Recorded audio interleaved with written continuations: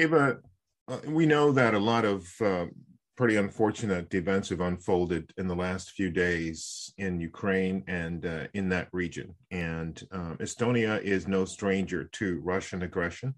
So I'm wondering if you would give us a sense of uh, what the mood is like in Estonia and uh, in the larger region, to your knowledge, based on the events of the last day or so, which is basically an invasion of Ukraine by Russia. Yeah, I, and and I'm happy you you indeed you use uh, the word invasion. What uh, some of the statesmen are quite uh, cautious still to use.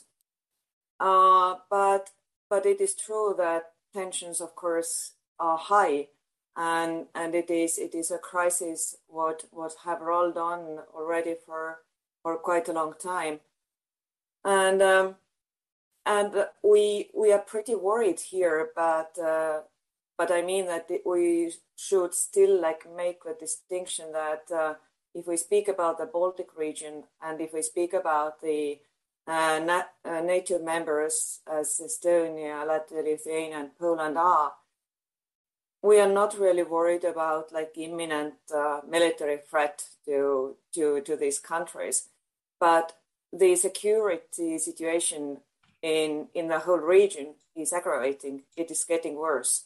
And it means that our security situation here is also getting worse. That's that's the same for us as it is for Finland and, and for Sweden, who are not uh, NATO members, but who also make corrections in their uh, security threat assessments and, and just act accordingly, as as we do.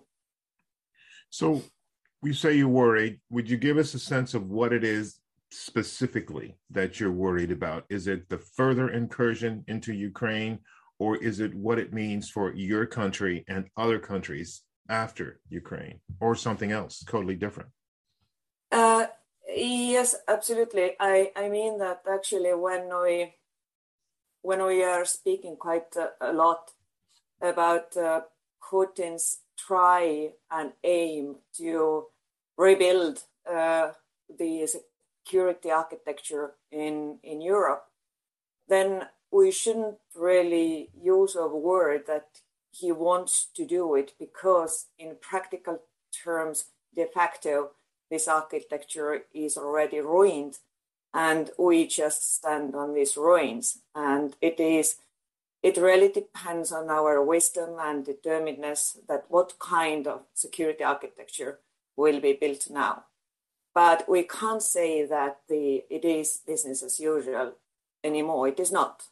It is it, it is a time where borders in Europe has been changed by military force several times if we already start from uh, from 2008 and and so it has started maybe quite slowly but but it is what is in reality what is happening. And we should rather face it than to make make kind of theater or or puppet theater that that we still can go on with uh, business as usual.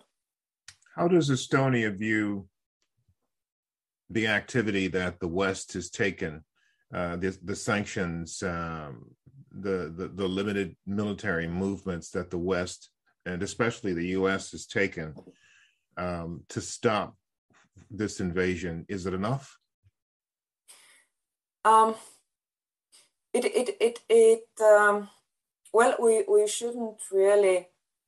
Um, we should take into account that uh, Putin is really obsessed with Ukraine and it is something that I think that has been a bit underestimated in, in threat assessments. We, we should take into account that it has not been like uh, empty threats from Putin's side, but what he said that Ukraine is part of Russia, that he really means it. And it is the starting point where we should start our strategic thinking that we should we should just take it seriously.